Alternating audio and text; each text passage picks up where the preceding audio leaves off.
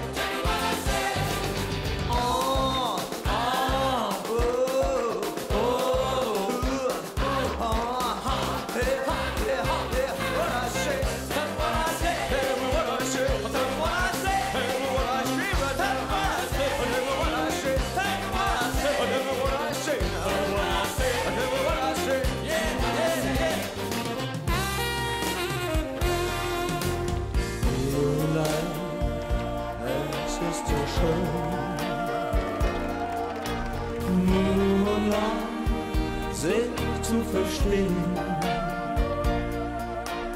Darum tragen wir zwar jetzt das Kriegsbeil an.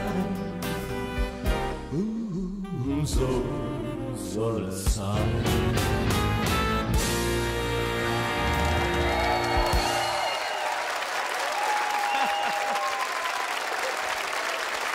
Ted Herold!